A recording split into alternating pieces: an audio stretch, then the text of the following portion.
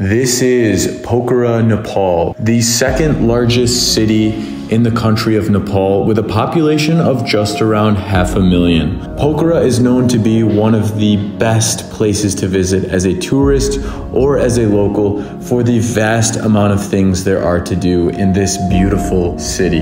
Pokhara is surrounded by Phewa Lake, which is a very beautiful lake surrounded by mountainous landscapes. And so guys, in today's video, we are going to be sharing with you everything you should do when you're visiting Pokhara. Now, I just wanna mention these 15 things to do in this list of Pokhara. Things to do is not exhaustive of everything you can do in Pokhara. There are so many things that you're able to do while you're exploring this city. For me, I could have stayed there easily for a month and I would have never even gotten bored in that amount of time. I was there for about eight, nine days, and I had such an amazing time exploring so many things to do in this area. And so, guys, I just want to mention that the list of things to do are not in any order from best to worst. They're just simply how I laid them out for you. So make sure you stick around to the end of this video so you don't miss out on any of the amazing things that we did while exploring Pokhara. And number one on the list is taking a luxury bus over to Pokhara if you're flying into Kathmandu like most people do. Now, this isn't as much a thing to do, but I figured for those of you that are considering going to Pokhara, Nepal, you're probably wondering how you should get there from Kathmandu. All right, we're going to a place called Jagadamba Travel. And now, there are multiple options depending on what you want to pay and how you want to experience it. I recommend the luxury bus if you want to save some money, yet still have a comfortable ride. And uh, it's got a cup holder, pretty good amount of legroom space fan here and curtain. And so it's a very inexpensive way to get there, yet still comfortable. But you also have the option to take a flight.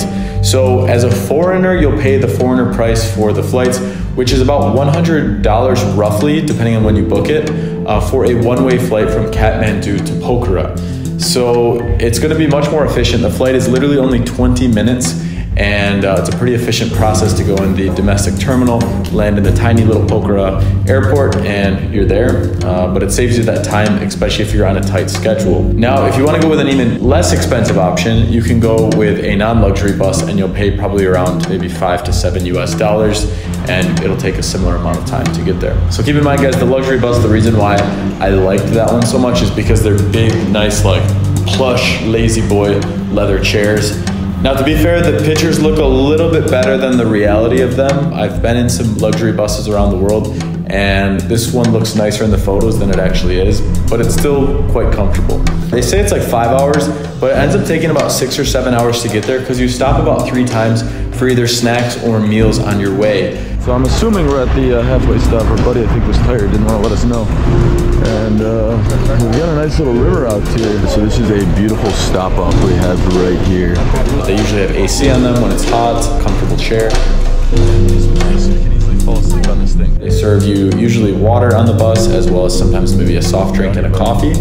And so, yeah, they take care of you on the luxury bus, and uh, it's, it's, definitely a cost effective yet relatively comfortable way to get from Kathmandu to Pokhara. Number two on the list is to take a hot air balloon at sunrise in Pokhara.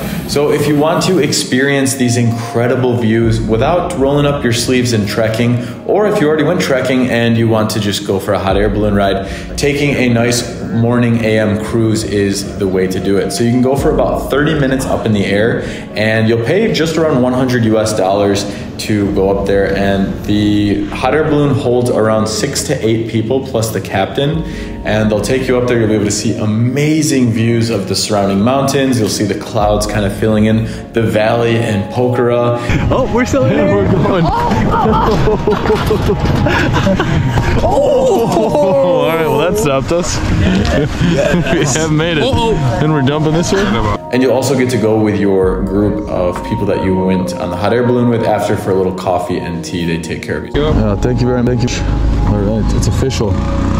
Oh, yeah. A lifetime award to see, see Annapurna Range, Matt Candy on November 21st. Easy way to wake up in the morning and experience some of nature's most beautiful moments while you're there in Pokhara. Number three on the list is to visit Annapurna Cable Car. So the cable car is going to bring you up to Sarangkot, which is beautiful to visit whether you're going up for sunrise or for sunset. Now keep in mind this cable car I believe opens at 9 a.m. or at least that's what it says on Google. So you can't take the cable car to get up there to Sarangkot for sunrise, but you can basically go up there with a taxi or a bus and then you can take the cable car back down if you're going for sunrise. The unfortunate part is I believe the cable car closes at 6 p.m. Depending on what time of year you're there, the sun sets sometime around that area. Now I went up right at sunset. We didn't make it up to the Sarangkot viewing tower, but I would recommend if you can come up there early enough, do about a 10 minute hike from the Annapurna cable car landing spot up in the mountain, and you'll be able to see 360 degree views of both Pokhara, the village on the other side of the mountain, and all the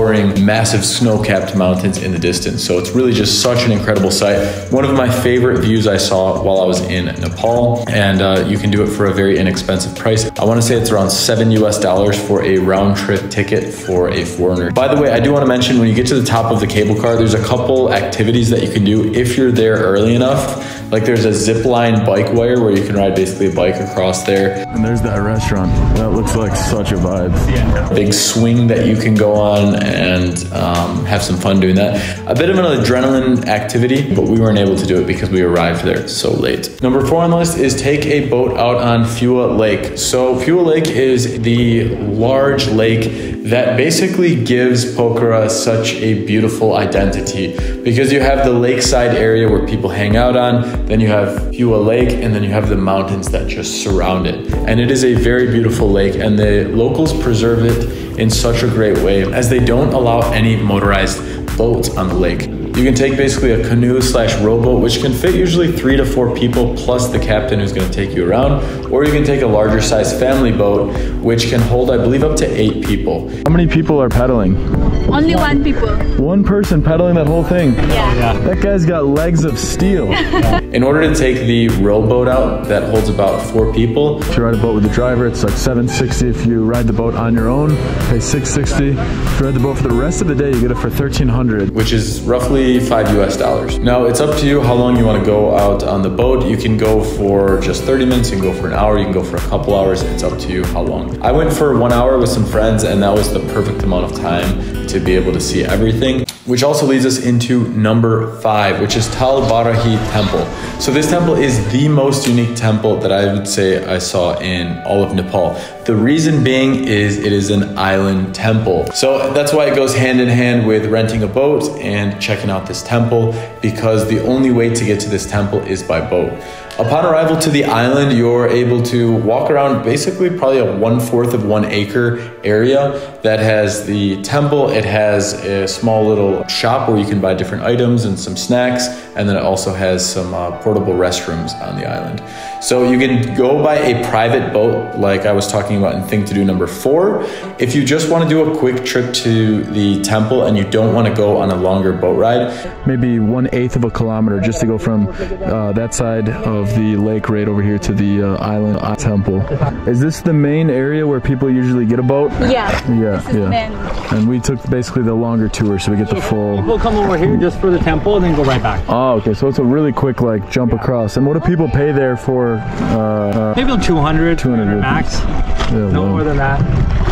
And there you can do a shared boat and just pay less than a dollar per person to be able to get over to the temple and back.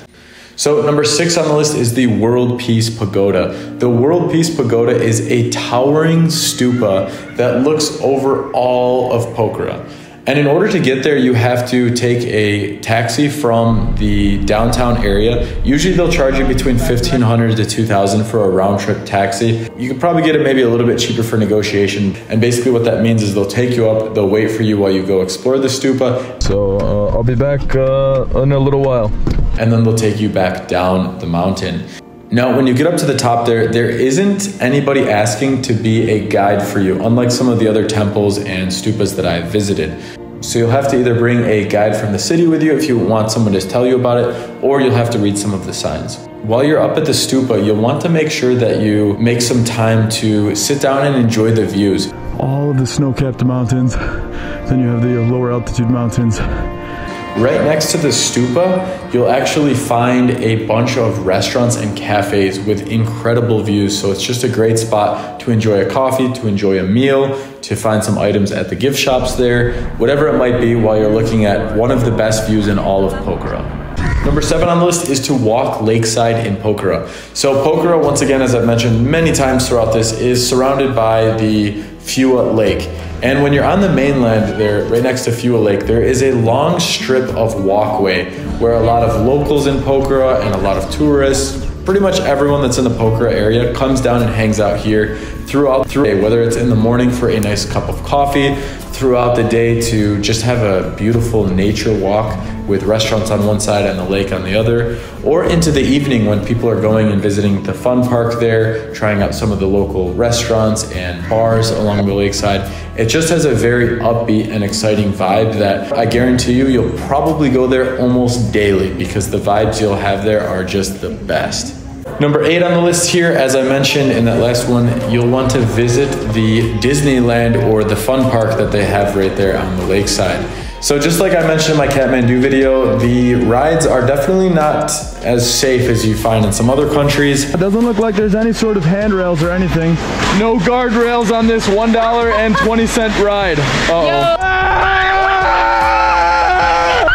If you lean, you if you're looking for a fun thrill, some uh, interesting rides to go on, there's like a Ferris wheel, there's a big ship that goes pretty high up that I went on, as well as you'll be able to have some like carnival treats there, whether it's like snow cones, ice cream, or just other like finger foods that you might enjoy eating at a carnival. Number nine on the list is to go restaurant tasting on the Lakeside Road. So Lakeside Road is going to be the most popular place that people go out for food actually. So along that road, you're going to find pretty much every cuisine you could ever imagine. If you want Nepali local food, if you want Italian food, if you want burgers, if you want to just find some fun sports bars, if you want to find modern bars, if you want to find Indian food, if you want to find pretty much anything that you can think of, I was able to find it. See this one? First. Oh! oh! Good coffee shops there as well, bakeries. All of those are going to be located right on that lakeside road. And you can walk, I would say, probably a mile each way or a couple kilometers each way, and you'll be able to find a vast amount of different restaurants and options. But you can also do other things on Lakeside Road as well, like do some shopping for some local Nepali items, or you can find uh, SIM cards if you need one. You can find multiple hotels in that area along that road, uh, guest houses, hostels, pretty much everything you would need as a tourist visiting Pokhara, you're gonna be able to find right there on the Lakeside Road. 10 on the list, you're gonna wanna try out the Thakali set food. So it's just like a couple minute ride away from where the lake is. This is what the sign looks like. So I mentioned this also in the things to do in Kathmandu video that I made, but I had a completely new and unique experience when I went to the Thakali set restaurant. I really liked the Thakali food here, I think as number one. Maybe it was because I went with friends who knew how to eat it and they were able to train me, or just because I liked the design of the restaurant. We went during the day and they had these tables that were like built into the ground. And so it felt like you were sitting on the floor, yet you were still at a table. Cool experience, nice staff, really delicious food. And I learned how to eat it properly with my hand there, my right hand. You just grab a, yeah, a piece. Grab like Use a your hand. Yeah. Yeah, guys, I would recommend trying this out. If you're not even into eating out local foods and you're one of those tourists who just likes to have pizza and burgers, test yourself. Try this out, have something local, and you might find that you really enjoy it. Guys, so I just washed my hands and my fingers are literally pruny because they've been soaked inside of all this moisture as I've been eating. Number 11 on the list is to visit a luxury spa. So the reason why I share this one with you is because some of you might be doing some hiking, some of you might be doing some trekking, and some of you might just be like me and wanted to try out a massage.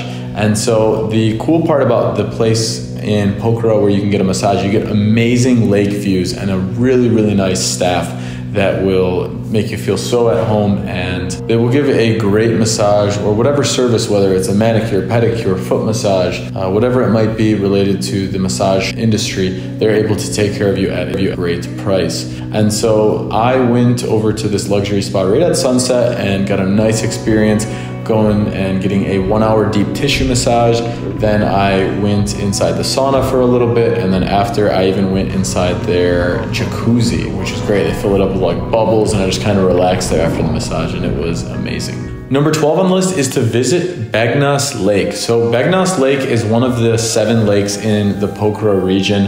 Obviously, Fewa Lake is the main one that Pokhara is on. But if you take about a 20, 30 minute taxi ride over to Begnas Lake, you actually have a whole new set of activities that you can do.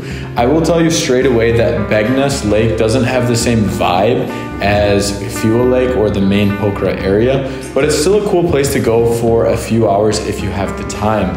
So I went out on the Begnas Lake with my taxi driver and we went for a little boat cruise. And this time I rented a larger size boat for the three of us. We went there just a little bit past uh, sunrise and you can see amazing views from a different angle than you can see in the Pokhara area. So it's definitely a cool place to check out if you're like me and you love being on the water.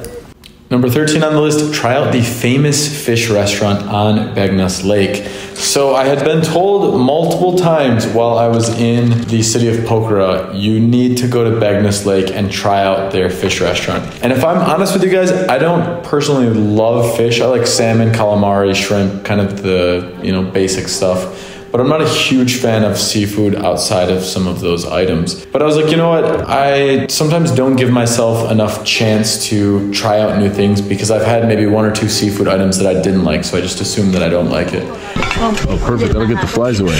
And this time I was like, all right, I'm gonna try out the uh, fish restaurant because it is that popular. And so I went over there and I tried out the uh, fish barbecue. And I wanna say that I had. Tilibia. Tilibia. Yeah. Uh, Tilibia, all right. So Tilibia, that's the most popular fish in here? Yes. Oh, okay. And did this one come from the lake or the fish farm? No, from the lake. Oh, from the lake. So this was a full natural set of fish right here that were swimming around. So I had this type of fish for my first time, and it was a bit of a learning experience on how to eat it correctly. As you can probably tell in the videos, I was struggling a bit. This is seaweed?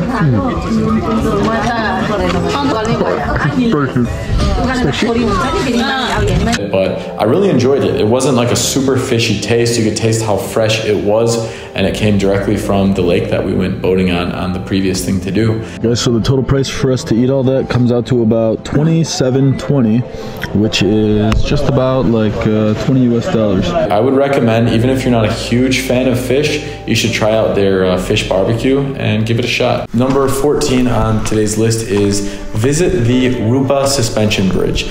Now, the Rupa Suspension Bridge is a bit of an excursion in itself just to get there. You have to take the taxi from Begnas Lake, and right next to it, you'll find where Rupa Lake is, one of the seven lakes in the Pokhara area. Probably about 10 minutes away from the suspension bridge, and then you do a small little hike down the hill, get to the suspension bridge, which I want to say is somewhere around maybe a quarter of a kilometer long. Uh, somewhere in that range, and you walk over the Rupa Lake, and the views are incredible. Actually, a much longer bridge than it seems like, because once you start walking across it, I'm like, okay, now I think we're, I think we're, now I think we're still probably one third of the way here, but the views from up here are gorgeous.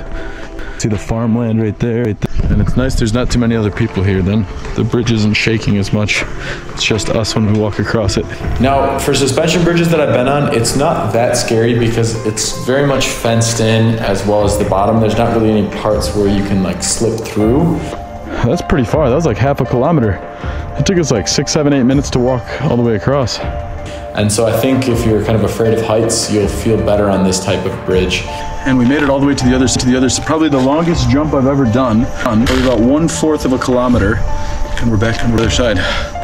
Uh, versus like when I went to this bridge in Hunza, that every step there was like a big gap in between it. So this one, like it's a, a, nice chill walk across, and you get a little step into nature and see some more views of the Pokhara region. And number 15 on the list is going to be experience the traditional Nepali dances. I actually didn't even plan to go and experience this.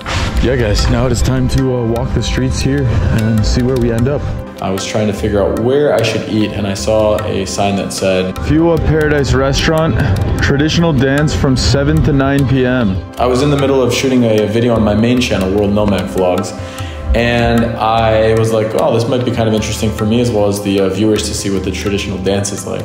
And then if it were daytime, you'd actually be able to see that we're lakeside. And so I went over to this restaurant and was able to watch the live music from the local Nepali uh, people performing some of their traditional dances. And it was a cool experience to kind of get a feel for, you know, what type of dance moves are common in this side of the world, what type of music uh, are they dancing to most often, and I enjoyed it while also having a nice meal. They've got a bunch of different options at the restaurant that I went to.